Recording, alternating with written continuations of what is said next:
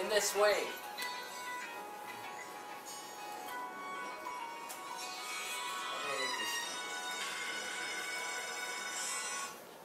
In this way, there are many different demigods, and they each have some function, some controlling function within the universe. But they're not supreme. They're called demigods. They're not the supreme God. And if we consider gods, even powerful demigods like Shiva and Brahma, if we consider them to be equal to Lord Krishna, to the Supreme Lord Vishnu or Krishna, then this is an offense on our part. And we will not get the real benefit of chanting. If we think I'm chanting Krishna's name, but it's all, I could chant Shiva's name, I could chant any other name. It's not the same.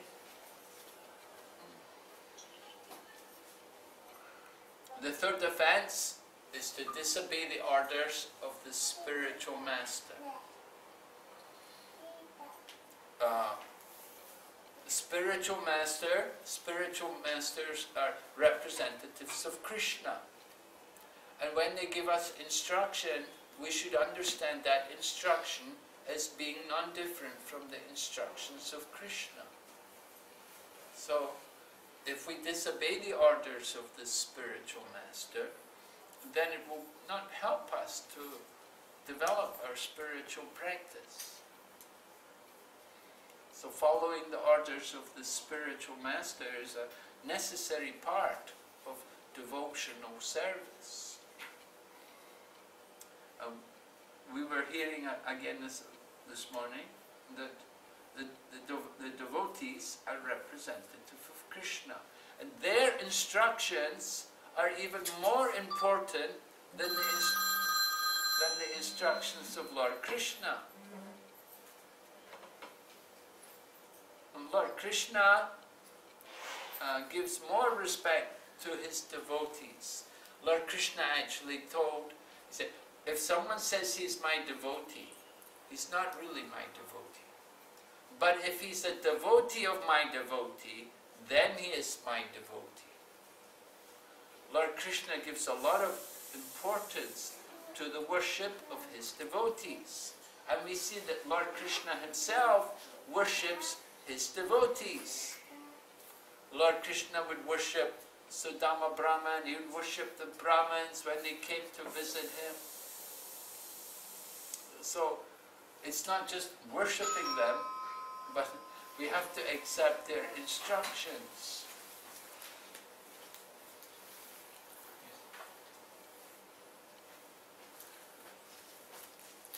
So then the fourth offense is to blaspheme the Vedic literature or any literature in pursuance of the Vedic version.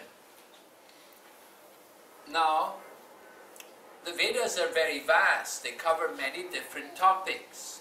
And not all the Vedas teach about Bhakti Yoga. So we may think, oh, this book, this is no good, this is not teaching Bhakti Yoga, no, it's not good. But we shouldn't blaspheme them. Rather, we should recognize that not everyone is able or ready to take up Bhakti Yoga. Therefore, there are other books for different people. Some people, they have to, they have to take to, they have to do karma kanda activities. Some people are in, they have to take up jnana yoga. Some people, they have to do meditation. They're not able to chant Hare Krishna. They're not able to worship Radha and Krishna. They're not ready for that.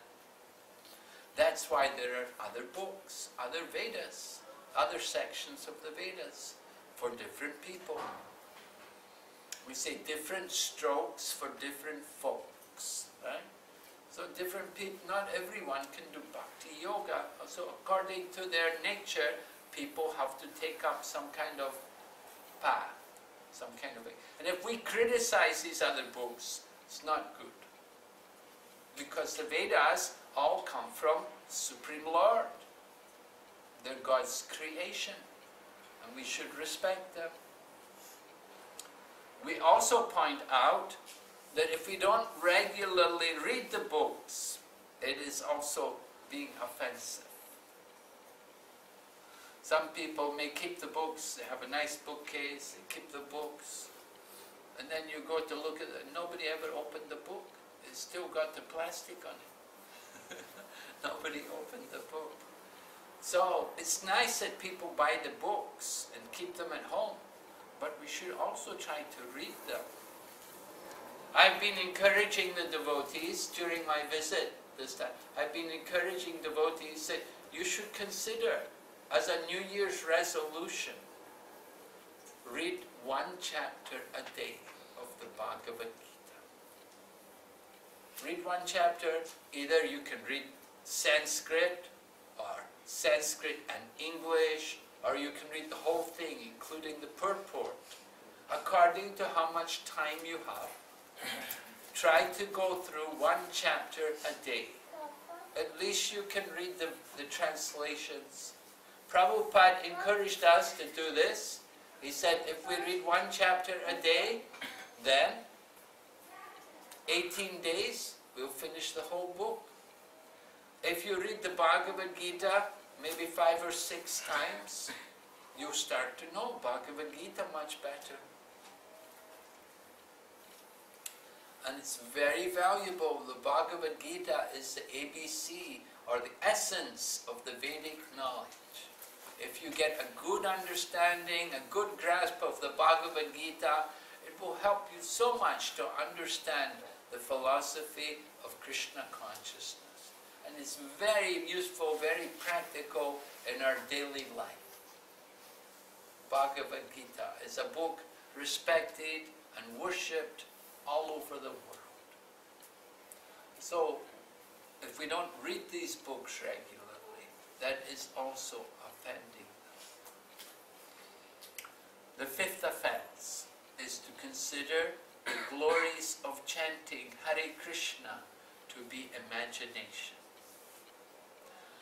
I will give you an example. Now, it is stated in the scriptures that by once chanting the holy name of Krishna, you can destroy unlimited amounts of sin.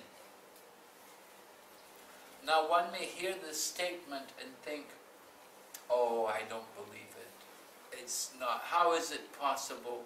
You just chant Hare Krishna one time and you get rid of so much sin from many, many lifetimes. How is it possible? I don't believe. That's not possible. So if we think like that, that is an offense. The glories of chanting the names of God are described in the scriptures. And the chanting of the names of the Lord are very powerful.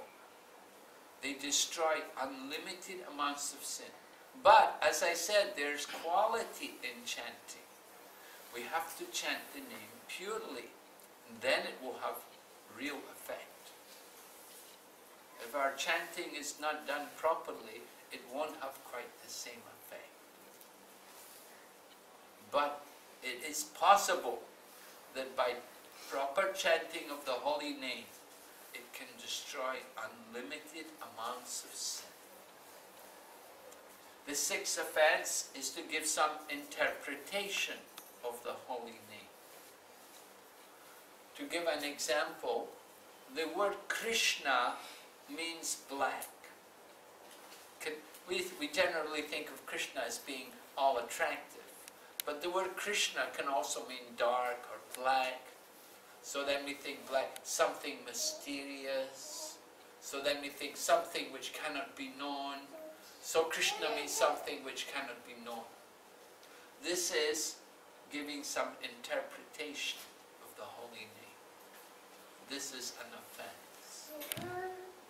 We give an example how we may give some interpretation. Just like this, there's a story, the, the, the wife told her husband, go to the market and purchase some ghee.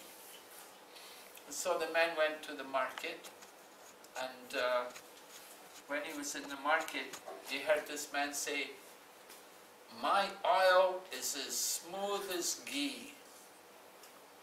So the man thought, Oh, I should get oil. But then he heard that someone else say, my oil is as clear as water. So he thought, oh, I'll just get some water. His wife told him to get ghee, and he came home with some water. So he didn't get any pakoras that night. that was giving some interpretation. His wife told him to get ghee, but it became water. So the same way, we should not adulterate the name of Krishna by our own speculative tendencies. We should understand the name Krishna properly as it's described in the scriptures through the teachings of the great acharyas, the great devotees. The seventh offense, a very serious offense, is to commit sin on the strength of chanting Hare Krishna. I just told you that chanting Hare Krishna can destroy unlimited amounts of sin. So one may think, oh, I can make use of that. There's a party tonight.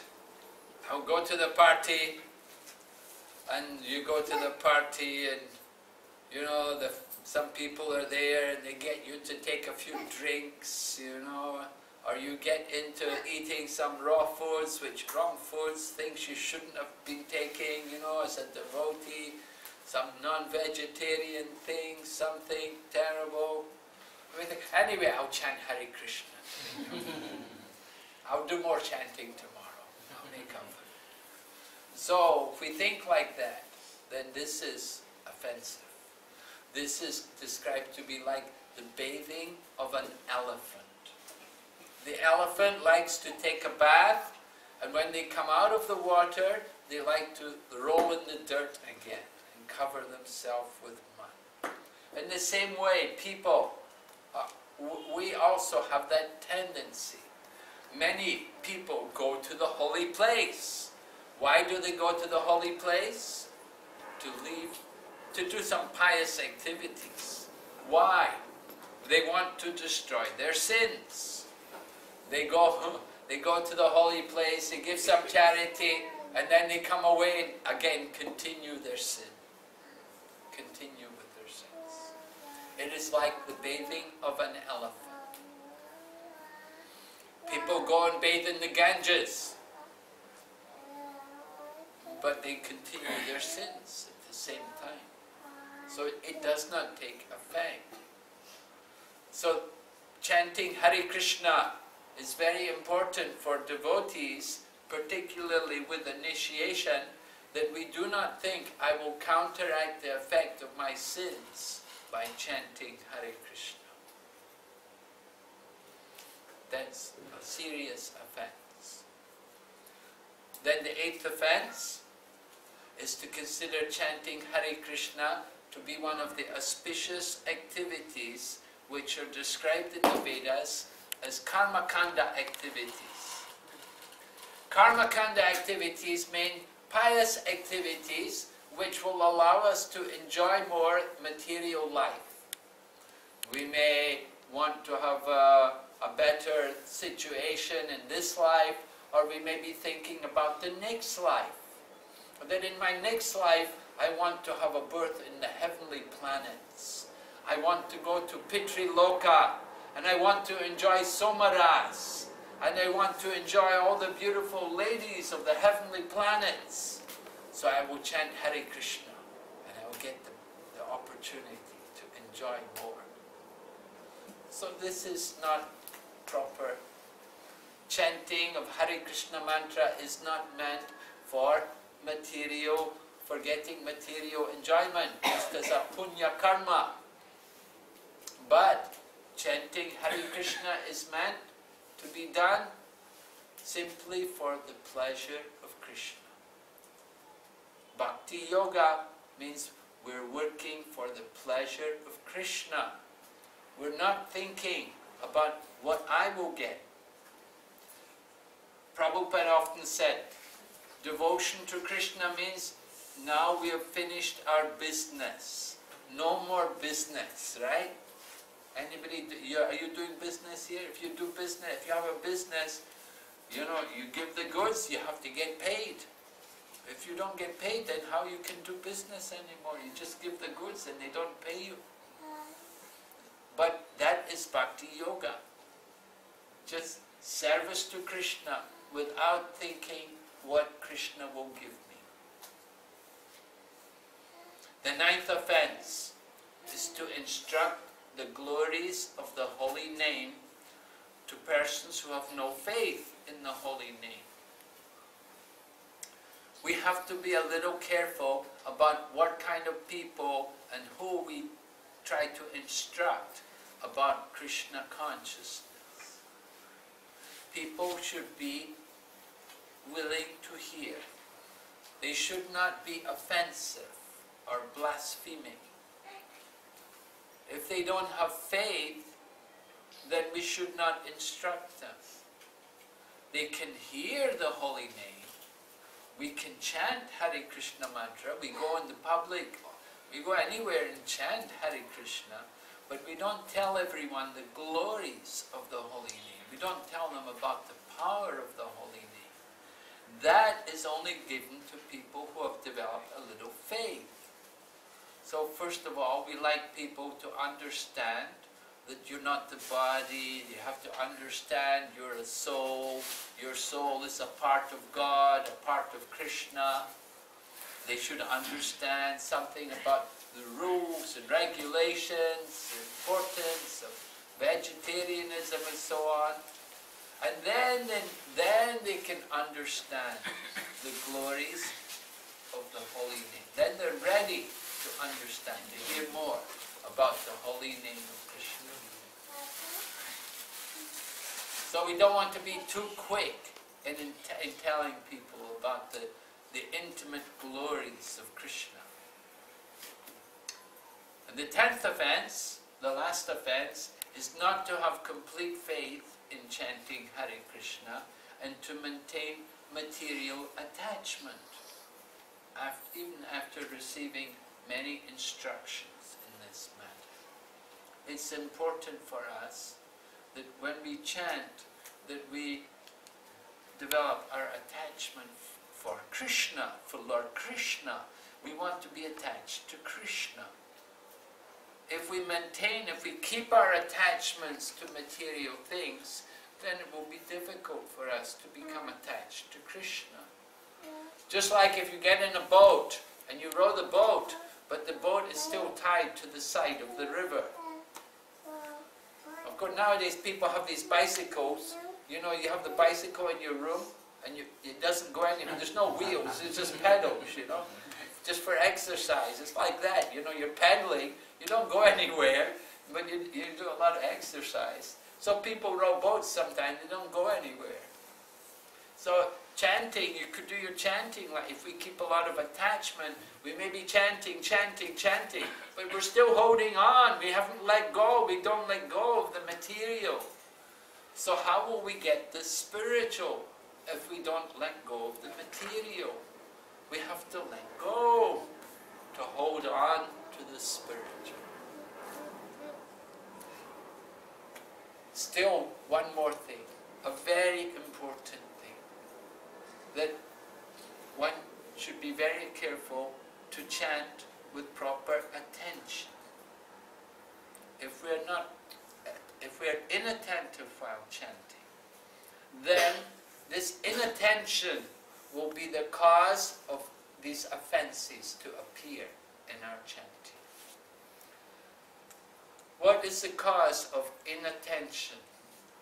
One is maybe just lethargy, that we're, we're just lazy about it uh, maybe apathy. That we think, oh, it's not important. Oh, we don't really, it's not really worth the trouble. You know, why bother about it? Oh, everybody does this. Oh, I have to do it. You know, we have this apathetic mood. So this kind of mood, this, this, this causes inattention in our chanting. And if we're not attentive in our chanting, then we will never get the desired result. What is the result? What result do we want to get? Krishna prem. Right. We want to get Krishna prem. So it's very, this is important for us to understand these ten offenses. I would also like to mention uh, that Lord, Lord Chaitanya, I said that usually in the morning we like to recite Shikshashtakam prayers. So in the Shikshashtakam prayers, Lord Chaitanya has given us very important instructions in what should be our mood in chanting. Uh, there's one verse which is especially important and which is worshipped and remembered and meditated on by all the followers of Lord Chaitanya. Indeed, it is described in the Chaitanya Charitamrita, which is the classic book about Lord Chaitanya. It says that we should string this one verse on a thread and wear it around our neck for constant remembrance. Just as we have these kanthi beads, these tulsi beads around our neck to remind us that we're devotees of Krishna, we're told we should put this verse and wear it on, our, on a thread around our neck. The idea is that we should, we should remember this verse very, in, very intently. That verse is, Trinadapi sunichena tarori vasahishnuna amanena manadena kirtaniya sadahari. Kirtaniya sadahari means always chant the holy name of Lord Hari. Lord Hari or Vishnu or Krishna, we should always chant the holy name. So Lord Chaitanya tells us what qualification we need to have in order to always chant the holy name. We may wonder why I, why I cannot chant the holy name so much. Why am I not attracted to the holy name? So Lord Chaitanya says, he gives four principles which are very important to help us to develop that mood, that qualification to constantly chant the holy name. He said, first of all, we should consider ourselves to be lower than a straw in the street. Now, a straw in the street is, you know, a blade of grass, very insignificant. We should think of ourselves in that way. We should have our, an ego in proportion to our spiritual position, not in proportion to our material position. Rather, we should be in our spiritual position. Spiritually, we are all souls. And the soul is one ten thousandth of the tip of the hair. Very small, very tiny. And we should think of ourselves also in that way. Then, Lord Chaitanya said, we should be more tolerant than a tree. Trees are very tolerant. They give many things for the benefit of others. Their fruits, their flowers, their leaves, their sap, their roots, their everything they're offering for the service of others. Trees provide shelter, they provide fuel. People can cut them down, the tree will never protest. Lord Chaitanya is instructing, if we want to chant the holy name continually, we should be more tolerant than the tree. Tolerant like a tree, right?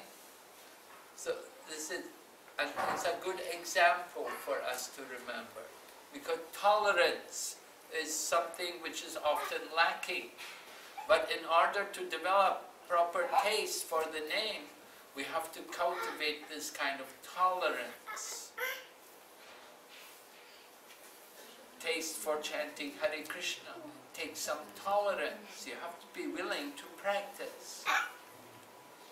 And then Lord Chaitanya said, Amanena manadena means we should be willing to give respect to others and not expect any respect for ourselves. Offer all respect to others and don't be anxious to be respected yourself. These are the four principles by which we could develop more taste for chanting the holy name of Krishna.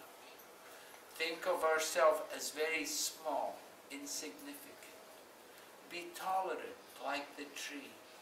Offer respects to others, everyone, and do not be anxious to be respected ourselves. Then, when we have that kind of qualification, then it's much easier to chant the holy name. So chanting of the holy name, this is a process for this age, Kali Yuga. Actually, Lord Chaitanya quoted a verse from scriptures which said, there's no other way. It's not by karma, not by yoga, not by jnana, but only by chanting the holy name. If we chant the holy name, then we can quickly get progress in our spiritual life and we can achieve love of God. Okay? Hare Krishna. Are there any questions? Any of you would like to ask any question? Any question? Yes, Prabhu? Uh, Maharaj, uh, uh, ninth offense says that you start uh, uh, Krishna Prasanamani Praise Lord. Right? But uh, Pratyama Prabhu says that Jara Dekha Tare Ka Krishna Upade. So if one one way they are saying you will start everybody what uh, Krishna Masters says. But in this case, the ninth offense says that those who are not interested into Krishna, don't tell them. But it will be offensive to tell these things to him. Why Yes. is it- this is a- Yes. Good question. Lord Chaitanya said, wherever you go, whoever you meet, you should tell them about Krishna. Lord Chaitanya gave this instruction actually to one Brahmana in Kur, uh, Kurmade, uh, Kurmashetra. Kurmashetra. Yeah. So uh, the ninth offense says we should not instruct the glories of the Lord to faithless people. Is there a contradiction there? The ninth offense said we don't instruct the intimate glories of the Lord to people. We have to give, but we can give anyone basic knowledge of Krishna. We can teach anyone, you're not the body, you're a part and parcel of God, you're a spirit soul, part of Krishna. We can tell anyone like that. We can tell anyone, chant the holy name, but we don't tell them the intimate glories of the holy name. We can tell them to chant the name, but we won't tell them everything about the holy name. And certainly we won't tell them about Krishna's pastimes, Radha and Krishna, Krishna and Vrindavan with the gopis and so on like that. These are intimate. These kind of things are not for everyone. But basic knowledge, that you should control your senses, you should control your mind, these kind of things. We can give that kind of knowledge to everyone. That is also giving them Krishna, awakening them to understand the knowledge of Krishna.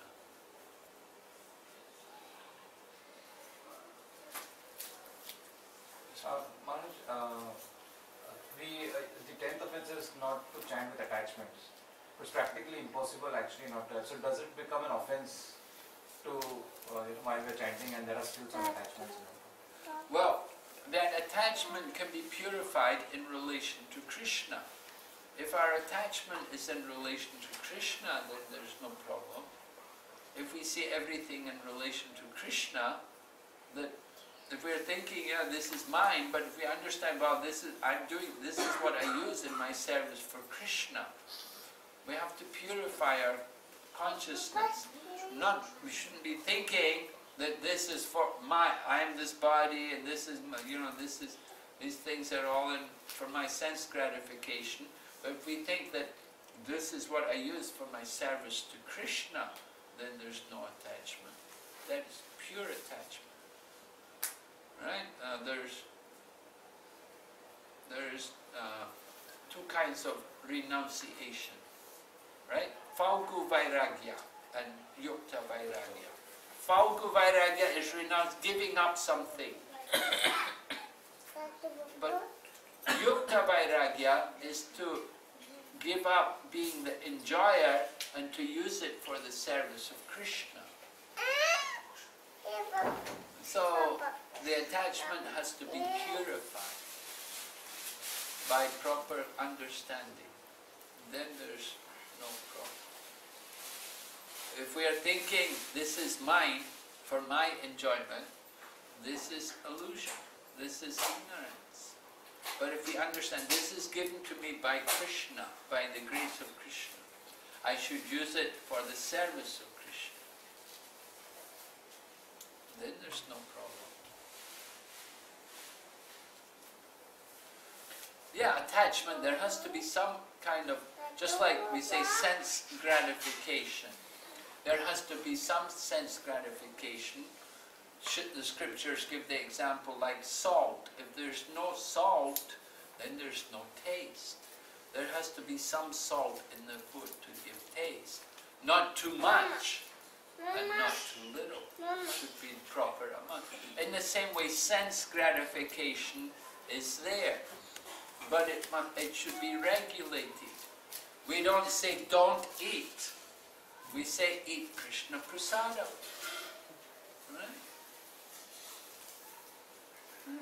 You have to have some home, you have to have somewhere to live. So, you think of your home also as a temple. Put Krishna's picture there and worship Krishna. Then in this way we use everything in the service of Krishna. And you have a job. Yeah, that job also is your service to Krishna. Internally, we should think like that, that your work and everything you're doing, that, that it's not just it's not just because of attachment, but you're doing it for Krishna. But because you have a job, you're able to worship Krishna, you're able to buy fruits and flowers and offer to Krishna, and you have a nice home, and you can give Krishna a nice place to sit. And we don't think of the home as being my home, but we think it's Krishna's home, and I'm here to serve him. Like that, trying to purify the attachment with the proper consciousness. The, the, uh, what I also meant, uh, was understood what the attachment part is, I mean, you have children and wife also as attachments. And then we need to ensure that that also then needs to be uh, taken in the proper context of, of, of Krishna being in the center for even those relationships. Yes. Yeah. That yeah, devotee is not neglectful. You have to take care for the family. That Krishna has given you the responsibility. By the arrangement of Krishna, you have a wife, you have children. These are all they are also parts and parcel of Krishna. They are also devotees, and you have a duty to them to take care of them and make sure they're happy and keep them in Krishna consciousness. That's not material. Doing the ten offences, you also listed the importance of uh, following the instructions of the Guru. But those of us who don't have a Guru, but we, uh, we would uh, you know, aspire to have a Guru, what, what are the uh, basic, uh, uh, you know, how would you guide us So the, the preliminary step in coming to Krishna consciousness is first of all take shelter of Prabhupada. Srila Prabhupada is the founder Acharya and he is the uh, spiritual master for all of the members of ISKCON. Initiated or not initiated, the, before initiation, we, we, first step is to take shelter of Srila Prabhupada. And think of Prabhupada as your spiritual master. And read, of course, we're reading his books and we're in his society and we're following his instructions. And we take shelter of Prabhupada for some time. And then after some time then we can think more about taking initiation. And the initiation should be given is by someone who is following Srila Prabhupada. So he won't be teaching you anything different that you're already doing everything under Srila Prabhupada's direction. But still you need to have also a living guru Prabhupada is the founder Acharya and he's giving also instruction, but we need to have also the guidance from a living person as well. So that you can do after some time. First, take shelter of Prabhupada and follow the principles and do the chanting.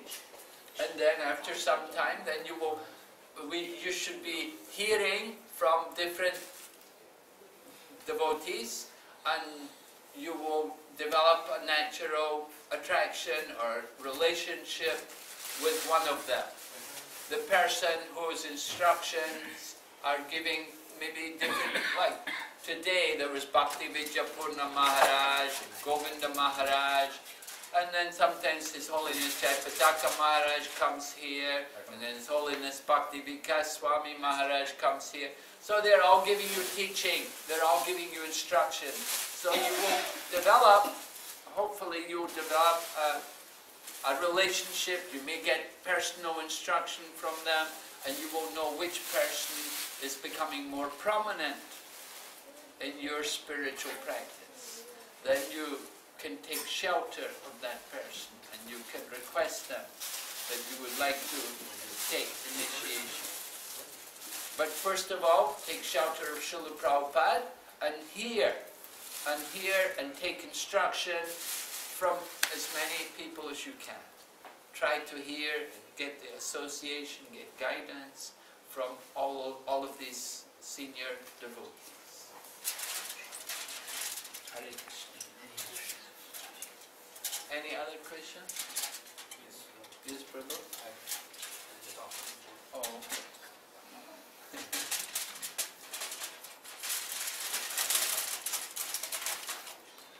Maharaj, as you said, uh, criticizing the scriptures, and they will give that example where people in different modes they follow different segments of Vedas and they follow karma kand and so even at times when we say they are karmis, so that tend amounts to an offense. Uh, well, a karmi is someone is actually a pious person.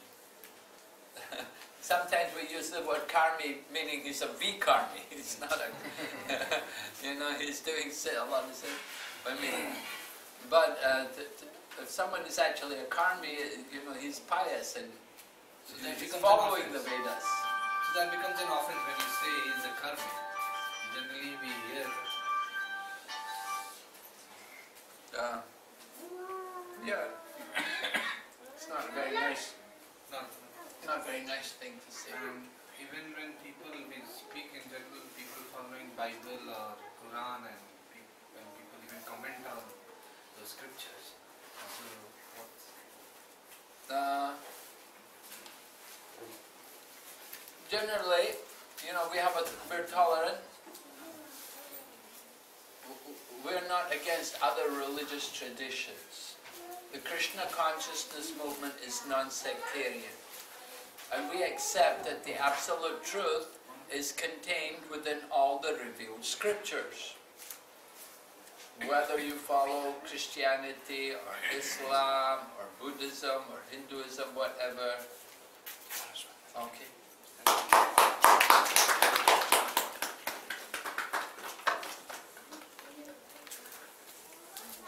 Uh, we accept that the absolute truth is in also these scriptures. And we're not exclusive. We don't say you can all, only Krishna conscious devotees can go back to Godhead. Only Krishna conscious people can develop love of God. No, we accept the absolute truth is there in all the scriptures. But of course, we have the highest respect for our own tradition. The, the Vedic knowledge, the teachings which is given by Sri Chaitanya Mahaprabhu, Lord Krishna, Srila Vyasadeva, that you know this is the, the highest, the greatest philosophy, the greatest depth of knowledge which is available. The other traditions, they're not giving so much. It's like a pocket dictionary compared to the full dictionary. Pocket dictionary will give a simple meaning, But if you have the big dictionary, you get a very detailed, elaborate explanation of every word. So Maharaj, when we speak to Christians, they say in Bible it is written, you don't get a birth again. They debate on that and they talk about it, it's written in Bible. And then Even in Quran, that becomes a very tricky situation. Like you say, no, it's wrong, it's what is written. And Well, generally, Prabhupada told us that in talking to Christians, that if they don't agree that you should be a vegetarian, then don't discuss anymore. The, the first thing is they have to admit that you have to be a vegetarian. If they won't agree to that, you don't need to talk anymore. Don't waste your time. Actually, and, uh, originally in the in the Greek in the in the Dead Sea Scrolls, incarnation was there. It was in the Bible, but it was edited out because the early Christians considered that if there's reincarnation, people will always say, "Oh, we'll wait till the next birth, the next birth." We want, so they took it out of the Bible. But initially, it was there in the in the Bible.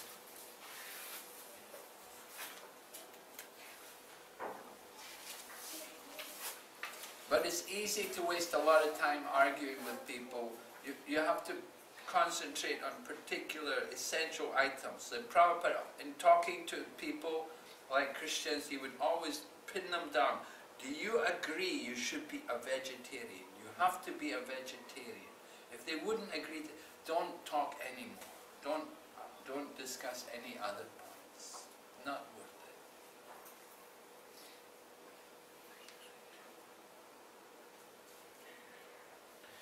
And even Maharaj you said that uh, one of the four principles, the Radha peace of nature, more tolerant than a tree. Yes. And it's very difficult to practice that. And uh, like a tree, H- how to cultivate that, but whether that is also applicable in your material life. To, s- No, we're not talking about material Right. life. We're talking about spiritual life. Spiritual life. Devotee's life is spiritual. We said the, this tolerant like a tree is the qualification to chant the holy name constantly. If somebody's chanting the holy name constantly, that is not material life. That is spiritual life. right, this is all these principles, the four primary principles to be applied in our spiritual life. And in the material life, based on condition, we For devotee, there is no material life. Everything is spiritual. That's right. But again, at material in the sense you are working at a place, you are working at a workplace. You cannot apply that as you said, applying that principle. Devotees work, of course, devotees work. All the devotees work. Devotees are not idle people, but we work in Krishna consciousness. We should have our Krishna consciousness. Internally, at least within, we, internally, we should understand the work in relation to Krishna. That consciousness has to be there, that I'm working for Krishna. I'm not just working for my sense gratification. I'm working for Krishna. Krishna explains this in the Bhagavad Gita.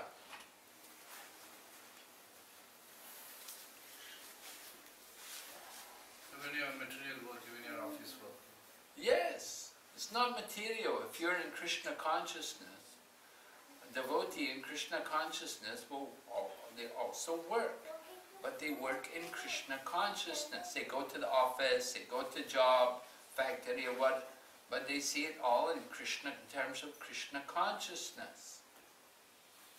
I think uh, I think that is the trick.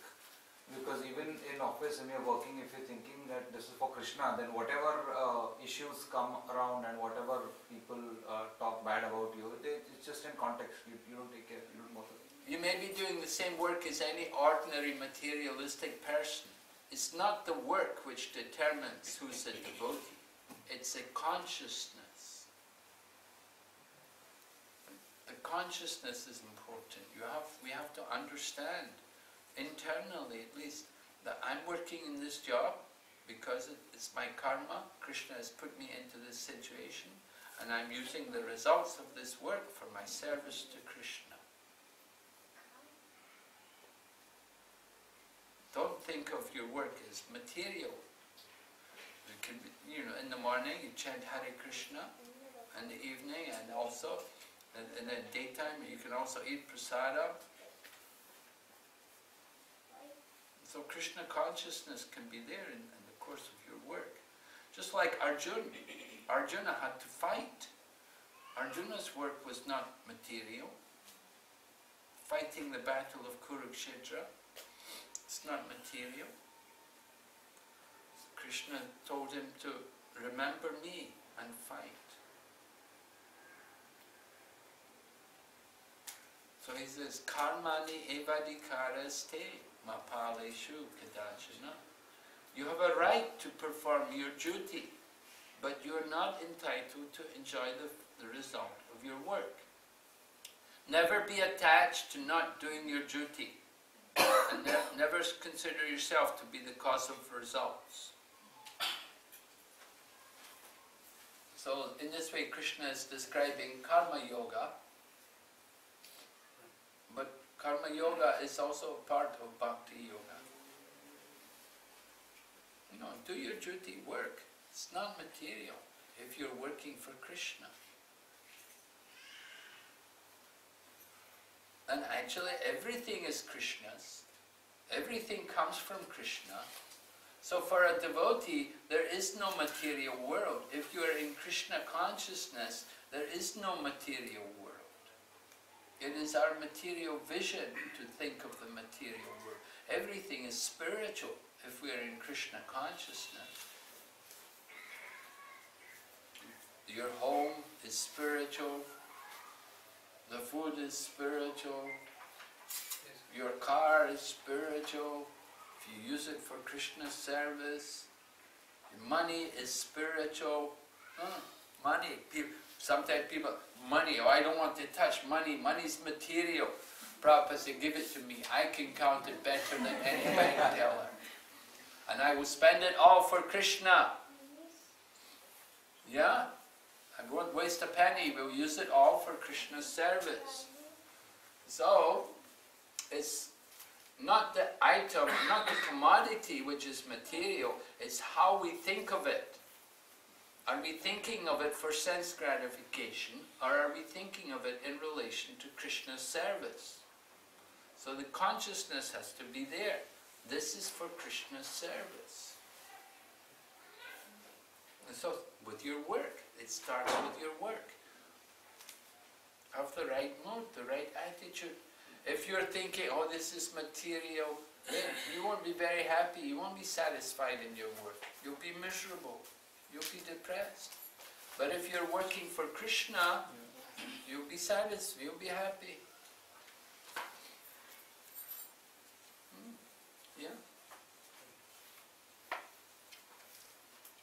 And even Maharaja, maybe as Mahaprabhu said, Jive Swarupa Nitya Krishna Das. Ah. What would be the deeper meaning of it to understand? Well, deeper meaning is that's our constitutional position. It doesn't change. That we're always Krishna's servants. He wants us to give up this idea of being the master. We're thinking, due to false ego, we're thinking I'm the proprietor. This is mine, belongs to me. This is for my enjoyment.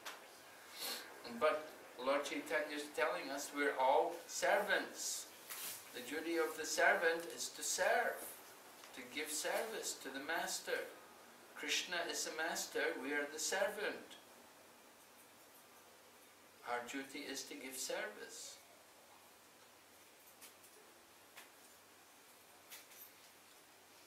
And don't worry if the master is going to take care of you or not. Sometimes we worry, oh, what will Krishna give me? Krishna will take care. Whatever he gives, we're happy. Devotees gets pleasure in service. The pleasure comes in being the servant. There's more pleasure in being the servant than in being the master. So Lord Chaitanya is reminding all of us. Because the material disease is to think, I am the proprietor. I am the enjoyer.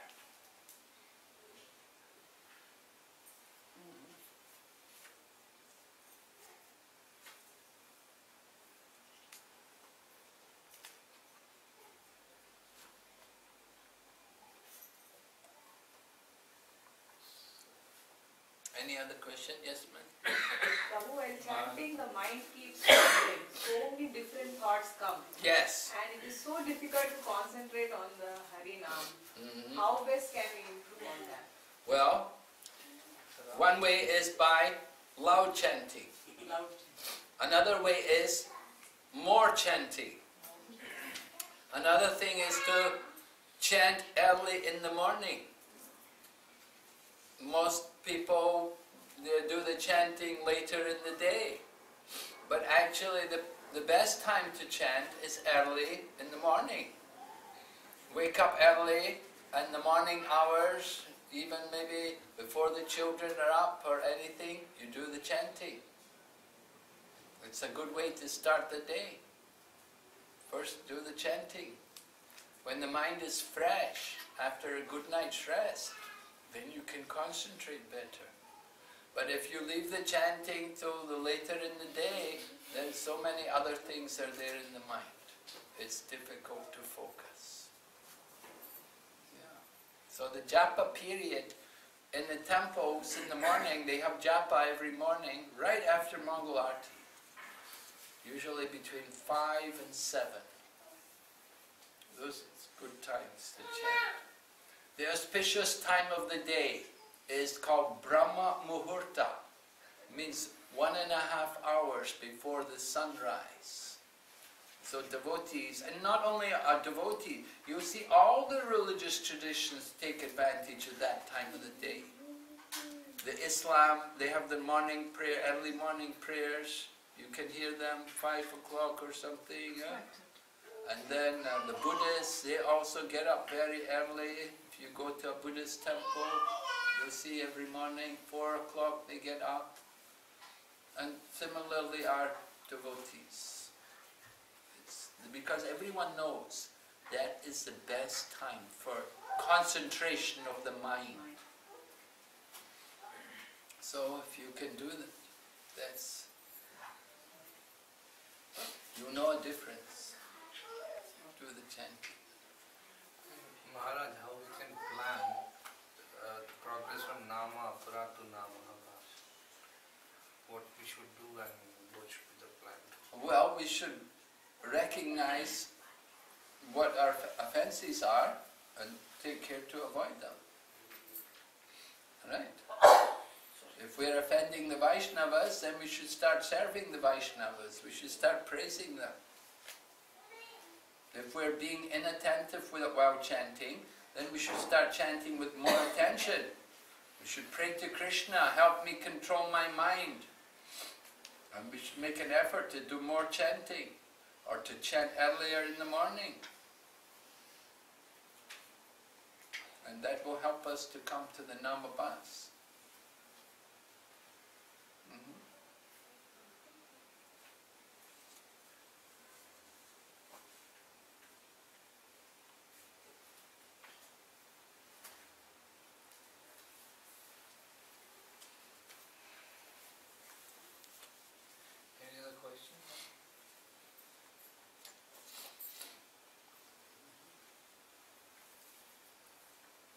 These are good questions, all very practical questions. Very nice. Thank you. Very nice of you to ask such good questions. Yes. I had, Maharaj, I have one more question. Uh-huh. Uh, uh, Maharaj, a uh, lot of times, I mean, it's said that this offense that we do uh, while we're chanting, we're not attentive. It is supposed to be the most, uh, the worst kind of offense. Uh, uh, now, most of the times when we are beginners and uh, we are still practicing, uh, there are a lot of times when we are doing our chanting that we are inattentive. Uh, now, how does, what is the effect of that particular inattention? even though we are trying not to be inattentive, but we still uh, become attentive.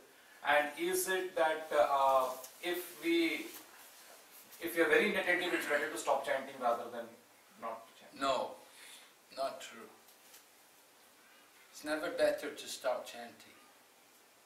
We should keep chanting, but we should correct the mentality. If we know we're being inattentive, we should try to become attentive, but shouldn't give up chanting. Offensive chanting is better than not chanting. Even though we may be offensive in our chanting, it's better than not chanting. Because if you're chanting offensively, then you may attract the attention of a devotee and he may come and give you instruction and help you to improve in your chanting. So, uh,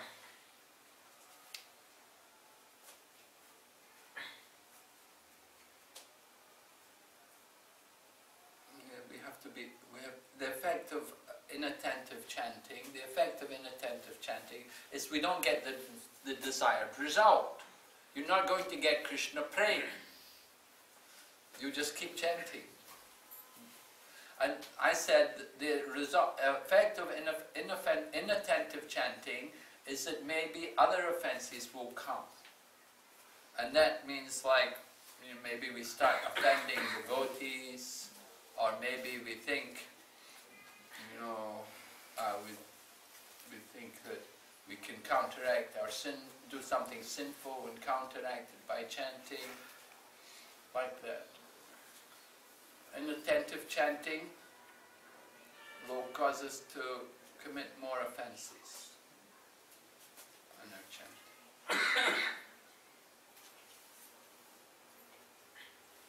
We're not going to get Krishna prema, we're not going to get the goal, we're not going to make any progress with inattentive chanting.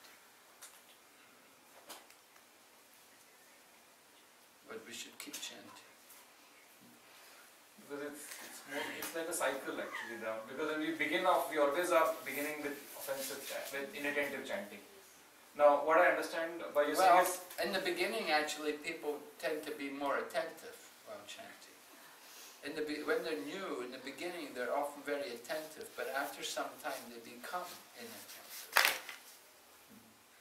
In the beginning you know when we're new we're you know we're we're very respectful to devotees but after we get to know devotees sometimes, then, you know, we think, oh, you know, we, then we become critical.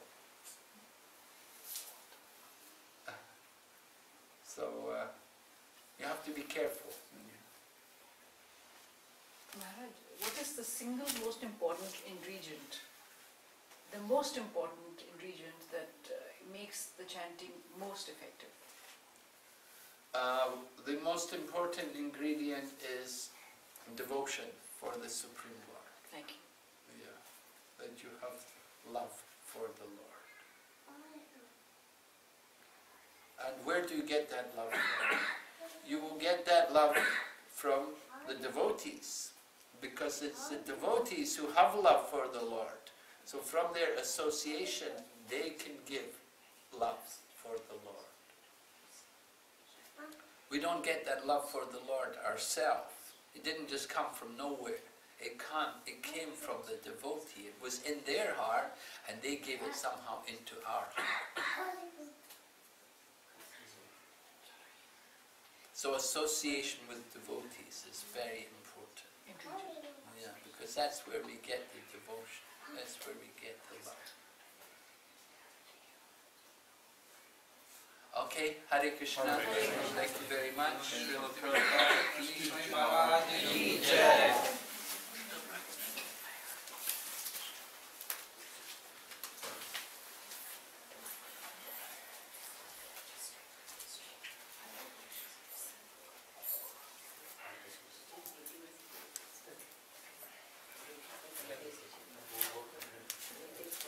Maharaj, can we uh, another question? Another question. Another question? Yeah? On my wife, she is asking on deity worship. How to improve uh, deity worship? How to improve your deity worship?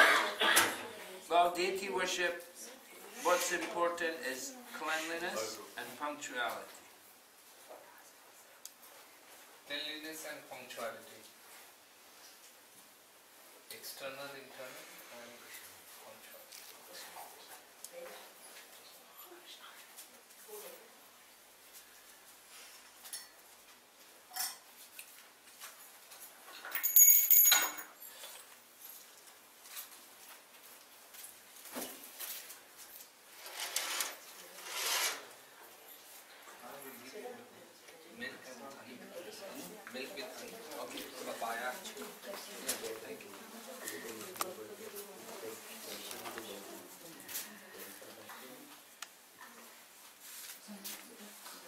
Chanting, Ah. um, should we lay uh, more importance to quality or quantity? Well, both are important.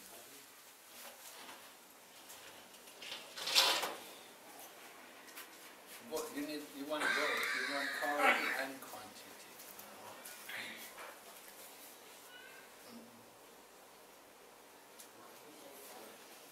One more I- I can't, I can't, I can't tell you one over the other because they're both. There's a quantity, you know, General Prabhupada told us sixteen rounds minimum. That's for initiation, at least sixteen rounds. So that's the quantity, the minimum quantity. And the quality, the quality is avoiding these offenses. That's how we gauge the quality chanting with proper care and attention, pronouncing the mantra properly, and calling the name, calling the name with love. You know, some people may say your name, but they may not say it very nicely, you know. Maybe the policeman or something, you know. they don't say the name very nicely. But we want to cultivate a loving relationship with Krishna. So we have to call Krishna's name with feeling from the heart. Shouldn't be mechanical. Uh, For this, uh, developing the bhav or the mood for chanting, as the reading is also very important, as with uh, Prabhupada's books or Bhagavad Gita, Bhagavatam. Yes. Yeah, the reading will help you to improve the bhava. That, yeah, we said, I said, if we don't read the books regularly, we won't be able to develop that same mood. Yeah. Yeah. If you don't read, then it- more important than reading is discussing with the devotees. Prabhupada said that's even more important than reading on our own. One, at least once a week, you want to be with devotees and have a class or some discussion. One, one person explain, somebody this, and you can ask questions, discuss. That's very important for us. It will help us to improve the quality of our chanting. Another thing which helps to improve the quality of our chanting is Sankirtan. Having nice kirtan. Like today, Govinda Maharaj was chanting so nicely, you can feel the potency of the holy name. So I'm sure if you go on Friday to the program, you'll also feel the enthusiasm, the spiritual potency. And it helps to give us more taste for chanting. Teaching also is, your we telling, uh, giving the class to others, teaching others about uh, uh, Krishna consciousness, that should also help them. Yeah? We have to have Krishna consciousness ourselves to give it. We're going to preach, you know, we have to have some Krishna consciousness ourselves, then we can give. Maharaj, how to overcome the anarthas? By chanting Hare Krishna, by doing devotional service, by engaging fully, by surrendering fully to Krishna. Then we get rid of all the anarthas. Maharaji, uh, suppose like Mataji, we are in the kitchen in the morning, five o'clock, you know, the children are going to school six and six thirty. So, uh, between five to six, six thirty, we are in the kitchen preparing the lunch for the children, after that we are doing the lunch and breakfast for the husband. So, whether can they do the chanting uh, during such kind of preparation uh, in the kitchen, or it is inadvertent chanting, I think. Yeah, of course, they can do, you can do the chanting anytime. Mm. There's no rules in chanting, but generally we say, you know, the, the, it, it's an auspicious time in the day to chant in the early morning, but of course it may not be practical for everyone children have to go to school, they have to cook for them, of course. Mm -hmm. So they have to chant later. Yes. So whether I think he's asking whether those chanting while cooking in the morning, whether that will fall under the prescribed number of rounds. Yeah, yes. Whether if a person has got a quota of eight, yes, whether that should be considered. No, I do not. Is that what he's asking? Is that yeah, then basically, uh, it will not count in the sixteen rounds. No, no, it doesn't count in the 16 rounds. They can chant, but they can't chant on their beats Yes. because they've got to use their hands to Yes. cook. Mm.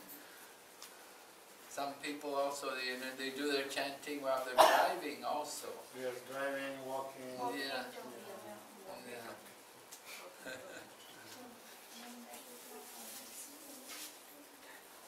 Prabhu, we can go for a japa walk in the morning or Oh, something. yes. That's, Definitely, yeah. Prabhupada did also, and the acharyas also recommend that. You can go for a walk and chant japa. Chanting you can do anytime, but the post chanting will not be counted in the sixteen rounds. Japa do we have to be sitting in front of the temple or if you, you know, um, Anywhere.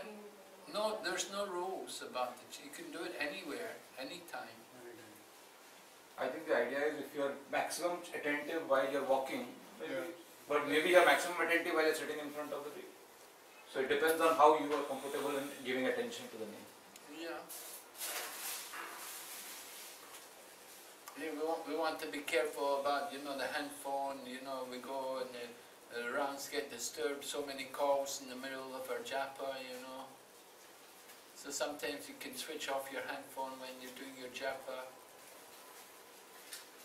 You don't want to be too, too distracted in the course of the japa. And also when you have children, children need a lot of attention. And, you know, you can't do your job and at the same time take care of a child. You know? And some, sometimes husbands, you know, some wives, you know, their husbands complain, they come home from work and the wife says, you know, I'm doing my japa, your, your supper's in the fridge or something, you. You know, and so, you know, it's not very good, you know. You, you have to uh, consider, remember your responsibilities. If you have a husband, you have children like that, they, they, you have to do your duty, you have to take care. You can't say, I'm doing my japa. you have to do your japa when they're at work or when the children are at school, when they're sleeping.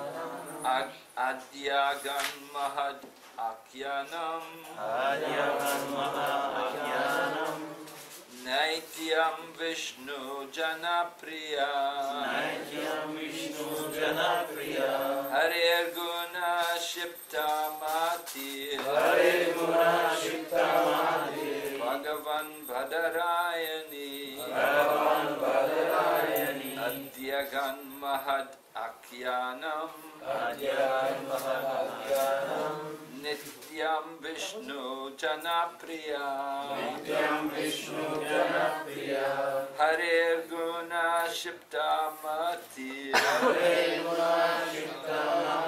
भगवान् भदरायणी अद्यगन् महद् अज्ञानाम् नित्यं विष्णु जनप्रिया नित्यं विष्णु जनप्रिया Translation Srila Sukadeva Goswami, son of Srila Vyasadeva, was not only transcendentally powerful, he was also very dear to the devotees of the Lord.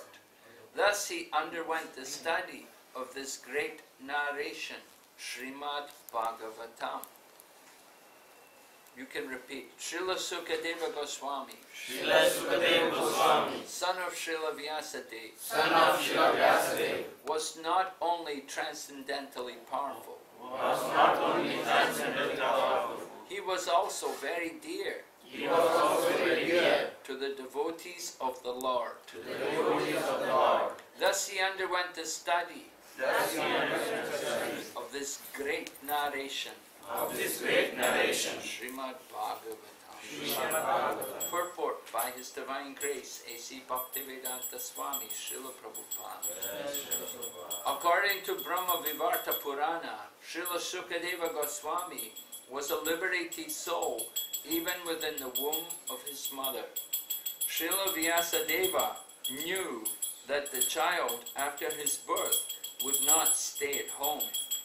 Therefore, he, Vyasadeva, impressed upon him the synopsis of the Bhagavatam so that the child could be made attached to the transcendental activities of the Lord. After his birth, the child was still more educated in the subject of the Bhagavatam by recitation of the actual poems.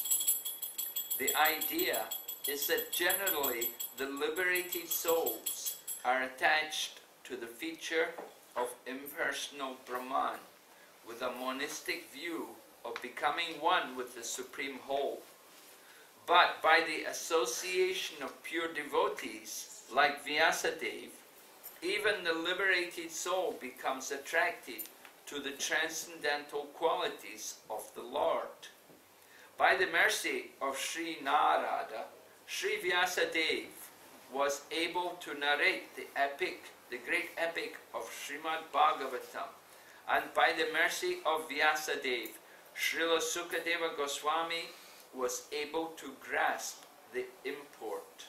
The transcendental qualities of the Lord are so attractive that Srila Sukadeva Goswami became detached from being completely absorbed in impersonal Brahman and positively took up the personal activity of the Lord.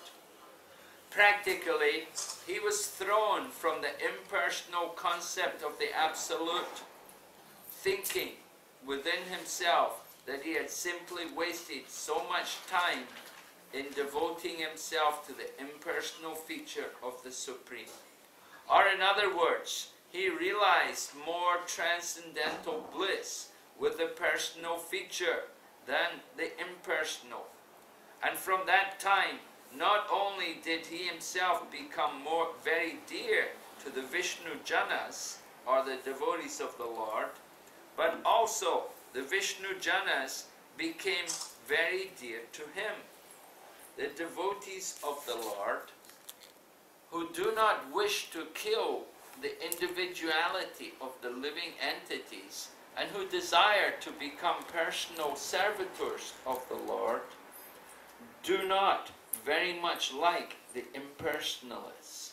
And similarly, the impersonalists who desire to become one with the Supreme are unable to evaluate the devotees of the Lord. Thus, from time immemorial, these two transcendental pilgrims have sometimes been competitors. In other words, each of them likes to keep separate from the other because of the ultimate personal and impersonal realizations. Therefore, it appears that Srila Sukadeva Goswami also had no liking for the devotees. But since he didn't, since he himself became a, a saturated devotee, he desired always the transcendental association of the Vishnu Janas. And the Vishnu Janas also liked his association since he became a personal Bhagavata. Thus, both the sons and the father, both the son and the father were completely cognizant of transcendental knowledge in Brahman, and afterwards both of them became absorbed in the personal feature of the Supreme Lord. The question as to how Sukadeva Goswami was attracted by the narration of the Bhagavatam is thus completely answered by this sloka. Om Ajnana Timirandasya Gyananjana Shalakaya Chaksur Militam Nena Tasmai Shri Gurave Namaha Vanchakaupatarubhyascha Kripa Sindhu Bhayevacha Patitanam Pavanebhyo Vaishnavibhyo Namo Namaha Jai Shri Krishna Chaitanya Prabhu Nityananda Srivasadi Gaur Bhaktavinda Hare Krishna Hare Krishna Krishna Krishna Hare Hare Hare Rama Hare Rama Rama Rama Hare Hare. So we're hearing how Sukadeva Goswami became changed from how he gave up his impersonal and his attachment to the impersonal Brahman and how he became a devotee of the Lord.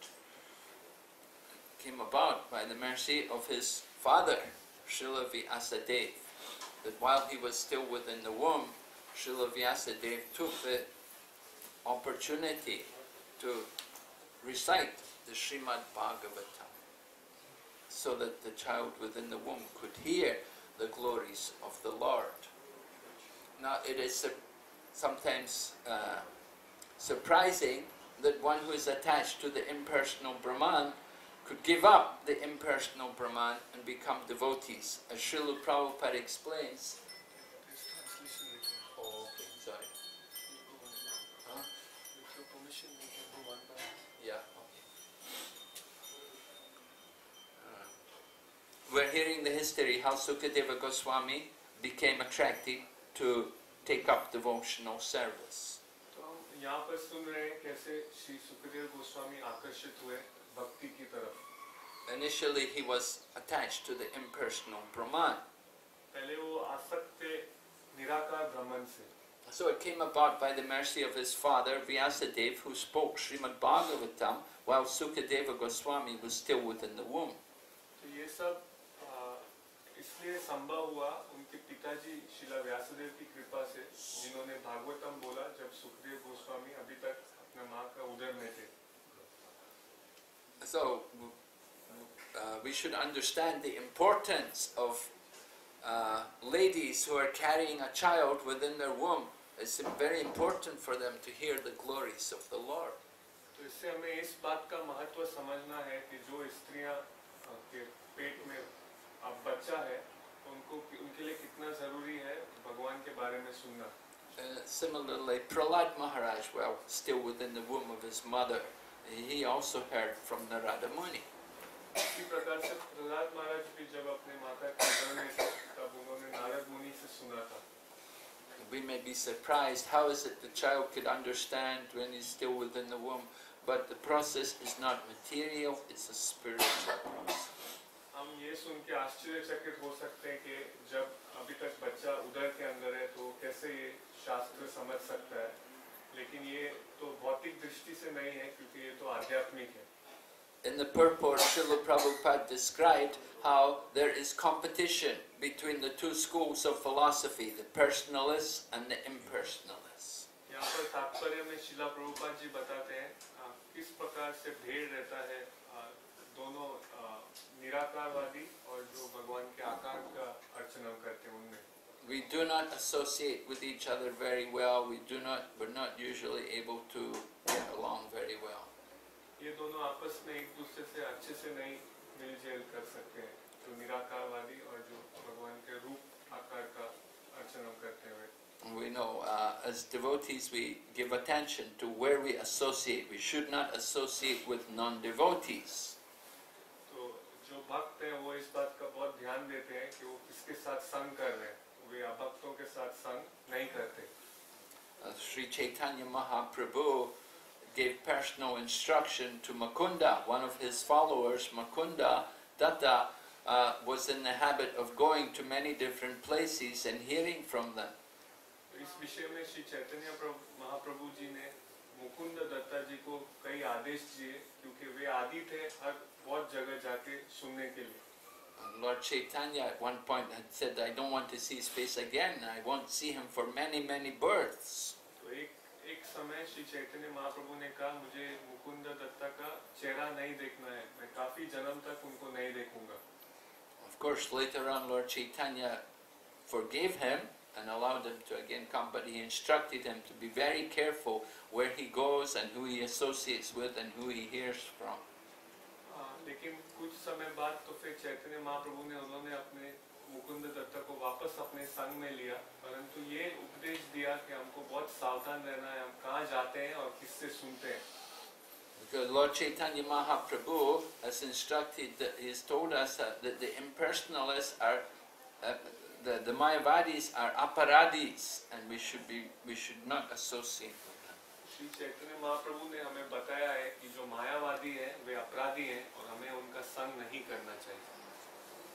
Uh, as devotees, we have to try to act on the madhyam level, the intermediate level of devotional service, and we distinguish between who is in, who's who one, who's worthy of giving mercy to and who we should avoid. साधक की तरह हमें मध्यम स्थिति पर रहना चाहिए जहाँ पर हम भेद करते हैं कि कौन कृपा के योग्य है और किस किससे हमें दूर रहना चाहिए And so even though Mayavadis may be speaking on Bhagavad Gita or some such uh, book which we're familiar with, we don't want to hear from them because they will simply give their own impersonal commentary. जो कि मायावादी भी ऐसे कोई शास्त्र से ही बात करते होंगे जिन जिनसे हम जिन शास्त्रों के बारे में हमने भी सुना है परंतु उनसे नहीं सुनना है क्योंकि वो अपना ही कुछ बनावटी बात बोलते हैं शास्त्र के ऊपर जो तत्व ज्ञान है वो नहीं बोलते But although Sukadeva Goswami was attached to the impersonal Brahman, he was attracted to hear the glories of the Supreme Lord. तो सुखदेव जो गोस्वामी जी जो निराकार ब्रह्मन के प्रति आकर्षित थे फिर भी वो आकर्षित हुए भगवान के लीलाओं और गुण के बारे में सुनने के लिए And this is confirmed by the Atmarama verse, the famous sloka which is in the Srimad Bhagavatam. और ये और स्पष्ट किया गया है उस श्लोक से जो आत्माराम श्लोका है जो श्रीमद् भागवतम में जिसका वर्णन है munayo nirgranta apirukrame kurvanti aitakim bhaktim itambhuta guno hari. That even though they're Atmarama, Atmarama meaning liberated soul, they're taking pleasure in the self, but they're attracted, uh, they will be attracted to hear the glories of the Lord as described in Srimad Bhagavatam. तो यहाँ पर महाराज जी ने वो श्लोक बोला आत्माराम श्लोक जो श्रीमद् भागवतम में आता है कि यदि कोई व्यक्ति आत्माराम स्थिति पे है वो केवल स्वयं में आनंद लेता है वो भी आकर्षित होता है भगवान के बारे में सुनने के लिए And the fact that Sukadeva Goswami was attracted, he was attracted away from, he gave up the impersonal Brahman and became a devotee, is a proof of this statement. और ये बात का इस चीज से स्पष्ट होता है कि सुखदेव जो गोस्वामी जी जो पहले अ, निराकार ब्रह्मन से आकर्षित थे उन्होंने भी भगवान के बारे में सुन के वो भक्त बन गए और जो निराकार अ, ब्रह्मन के प्रति आकर्षण था उससे निकल के अब वो भक्ति में लग we saw also similarly the four Kumaras that they were also impersonal, they were Brahmagyanis, but they also became devotees. यही चार कुमारों के साथ भी हमने देखा है कि वो भी पहले ब्रह्मवादी थे परंतु बाद में वो भी भगवान के भक्त बने So we, we should understand there's a distinction between Brahma Gyanis and Mayavadis. Mayavadis are actually offenders against the Lord, but the Brahma Gyanis are not offenders. They just don't know. They're just they're attached to the impersonal Brahman, but they have not understood the personal feature.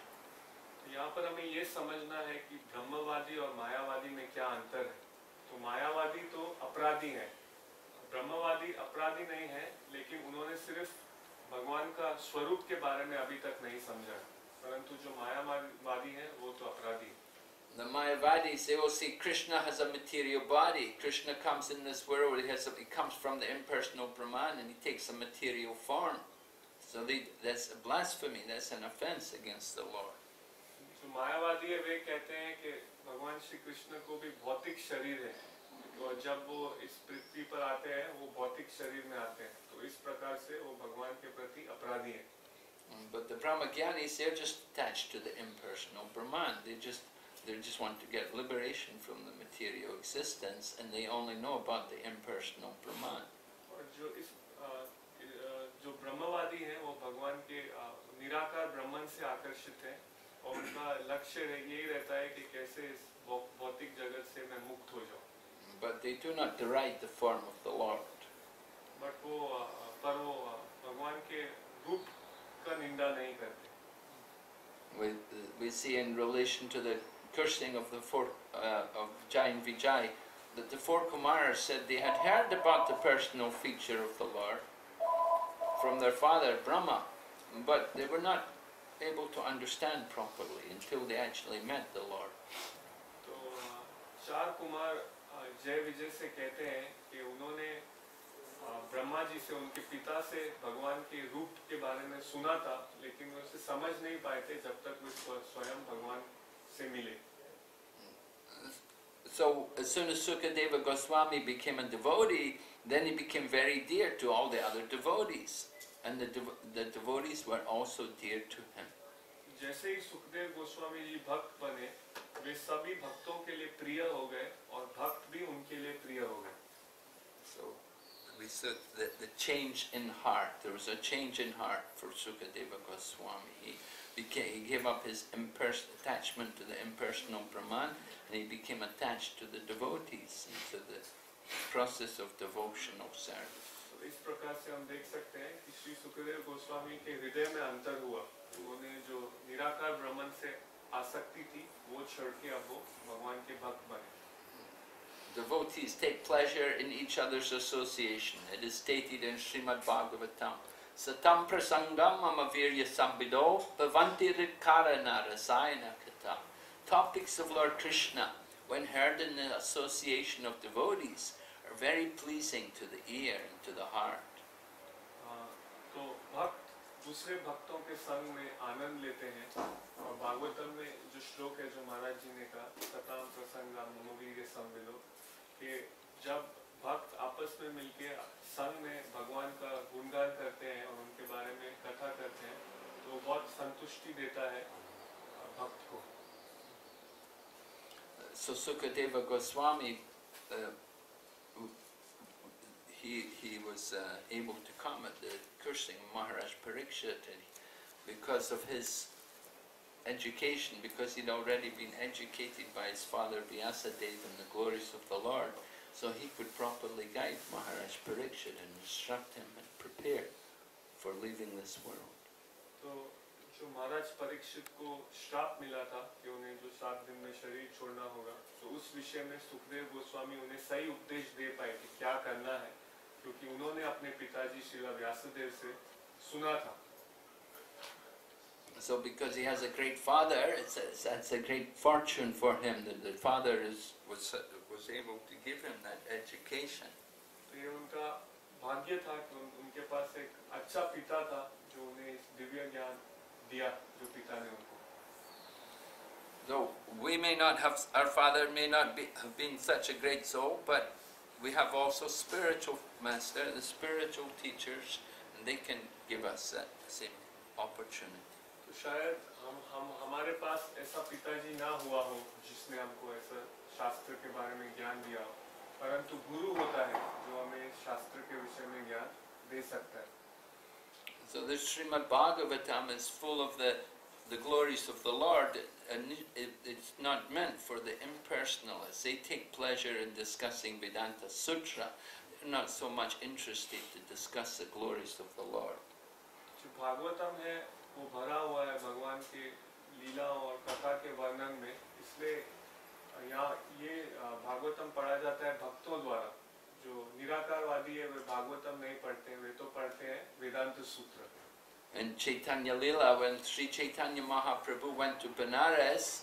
and he was chanting and dancing in the streets of Benares, and the other Mayavadi sannyasis there would criticize him that he does not come, he does not come with us to discuss Vedanta Sutra. He has become a sentimentalist. तो जब चैतन्य महाप्रभु बनारस में अ, संकीर्तन करते थे नाचते हुए जाते थे तो जो बाकी मायावादी हैं वो उनकी निंदा करते थे कि ये हमारे साथ नहीं आ रहा है वेदांत सूत्र पढ़ने के लिए तो ये अभी शास्त्र नहीं पढ़ रहा है ये तो बस अ, मन के अभाव में कीर्तन कर रहा है So then it was arranged that all the sannyasis were invited to one Brahmana's home. And at that time Chaitanya Mahaprabhu met with Prakasananda Saraswati.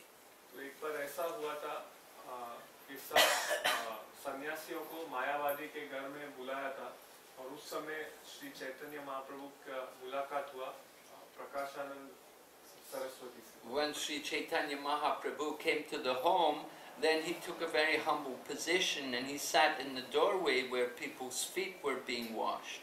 तो जब चैतन्य महाप्रभु उन मायावादियों के घर पे पहुंचे तो उन्होंने एक बहुत बहुत ही विनम्र स्थान लिया और वो उस स्थान में बैठे जहाँ बाकी सब वहाँ पे आए हुए अपना पैर धोते हैं But when he sat there, he exhibited, his body uh, exhibited a, a great effulgence. And Prakasananda Saraswati, seeing the effulgence of Lord Chaitanya Mahaprabhu, he was attracted to him and he, he, he, gave, he gave him some attention. He requested him, please don't sit in the doorway, please come inside.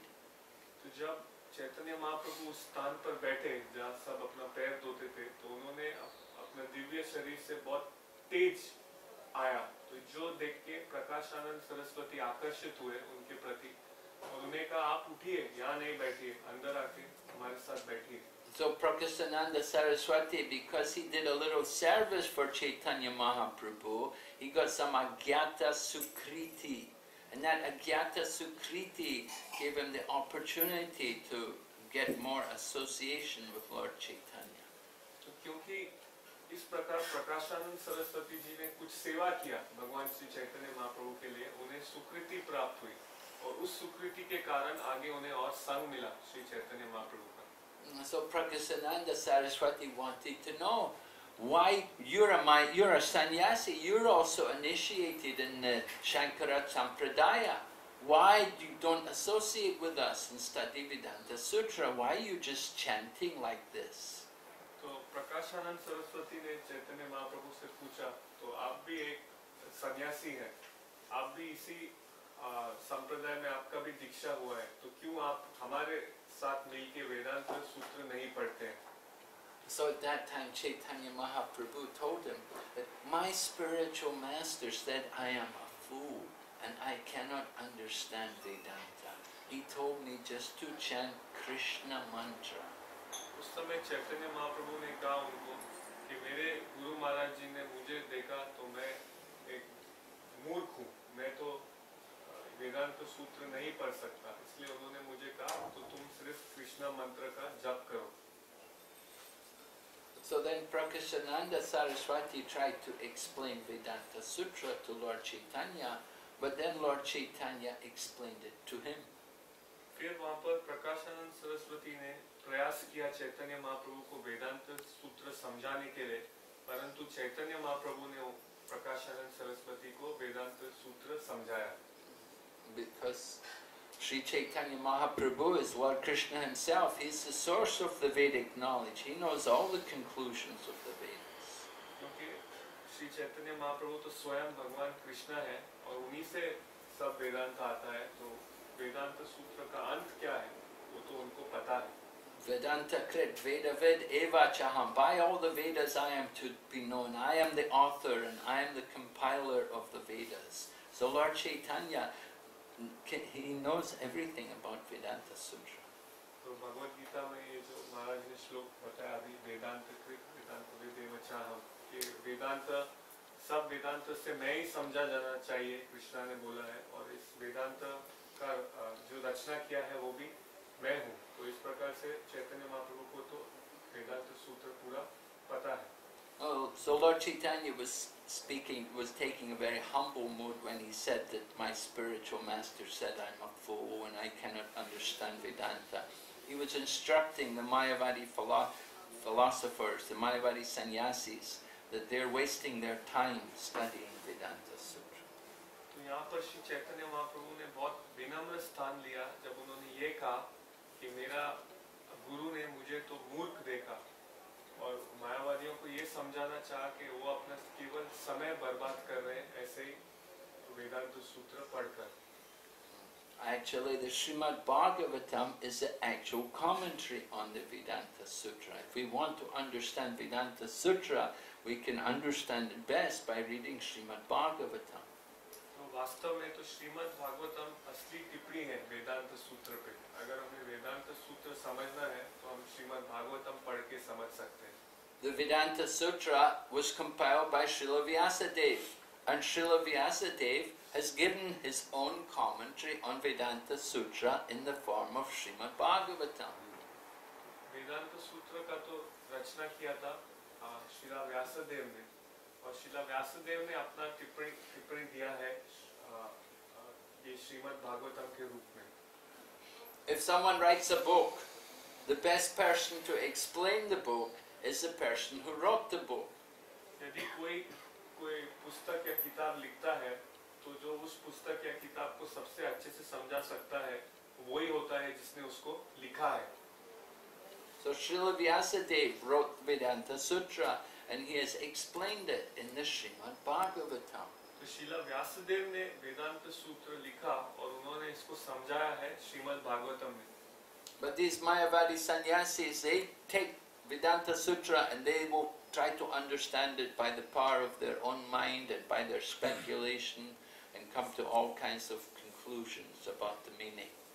तो ये जो मायावादी हैं ये क्या करते हैं ये ऐसे भागवतम को पढ़ते हैं लेकिन इसको समझने का प्रयास करते हैं अपने मन के हिसाब से और बहुत अलग प्रकार के नतीजे पर पहुंचते हैं But the, the best way to understand Vedanta Sutra is by studying Srimad Bhagavatam.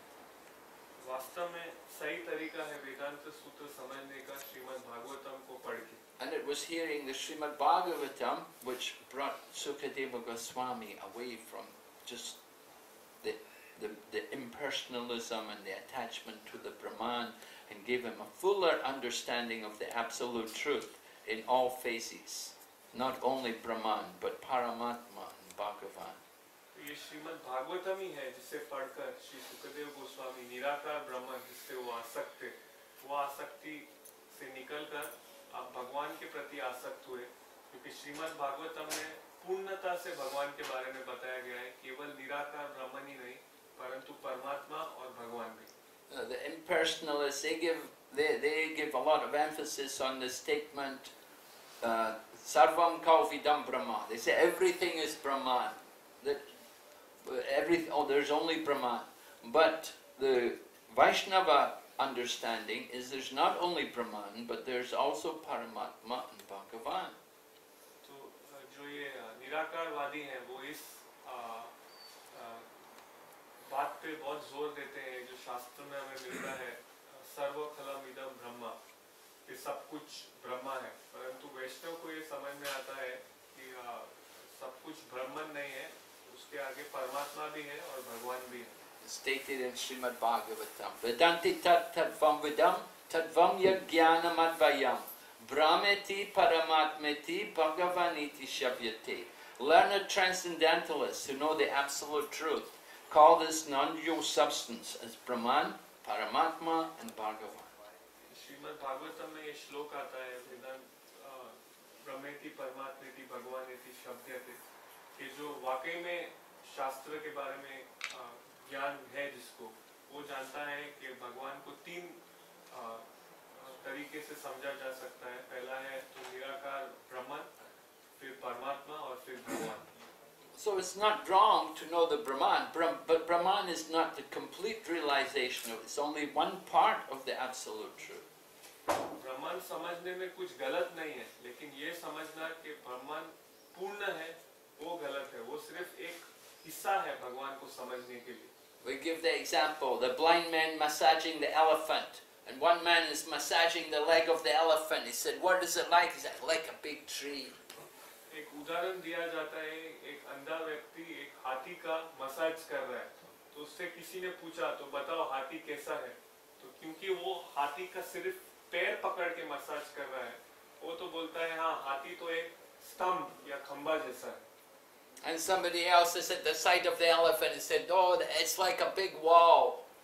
तो कोई हाथी का एक तरफ़ है एक पेट के तरफ़ मसाज कर रहा है वो दबा के उसको पूछा हाथी तो कैसा है हाँ हाथी तो दीवार के जैसा है बोला And somebody else has got the trunk of the elephant. He said, no, it's like a hose.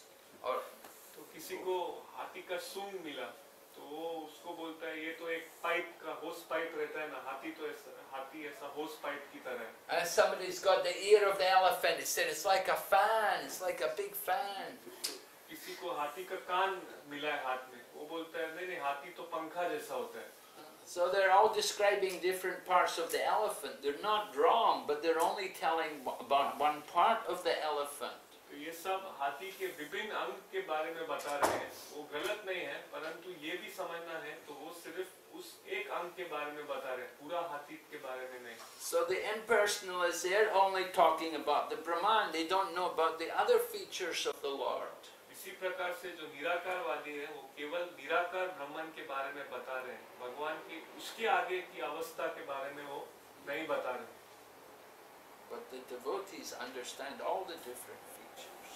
परंतु भक्त को तीनों के बारे में पता रहते हैं So by the mercy of a devotee, the impersonalists can also become devotees. तो एक भक्त की कृपा से निराकारवादी भी भक्त बन सकता है But they have to be willing to hear. They have to be submissive. Often they won't hear. They will challenge. They'll argue, and, and we can't. We won't get anywhere. परंतु वे बहुत बार सुनने के लिए तैयार नहीं होते हम कुछ उनको बोलेंगे तो उसके विपरीत सिर्फ तर्क वितर्क करने के लिए रेडी रहते हैं तो उससे कुछ फायदा नहीं होगा So we give them the holy name of Krishna, and we give them Krishna prasad. तो इसलिए हम उन्हें भगवान श्री कृष्ण का शुद्ध नाम देते हैं और कृष्ण प्रसाद देते हैं and try to elevate them in that way. इस प्रकार से उनका उद्धार करने का प्रयास करते हैं Okay, Hare Krishna. Srimad Bhagavatam ki jai. Israel Bhakti Nash, Vile Vinash, Bhakti Maharaj ki. Srila Prabhupada ki. किसी को कोई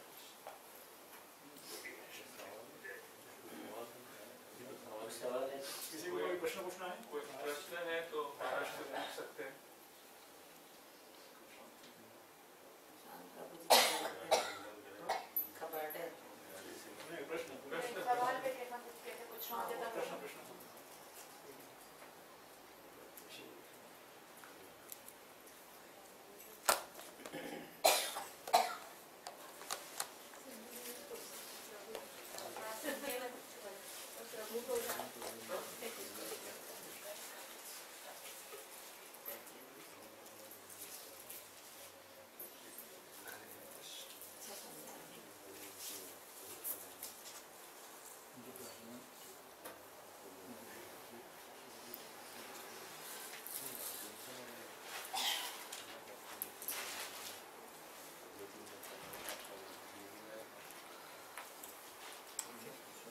Next.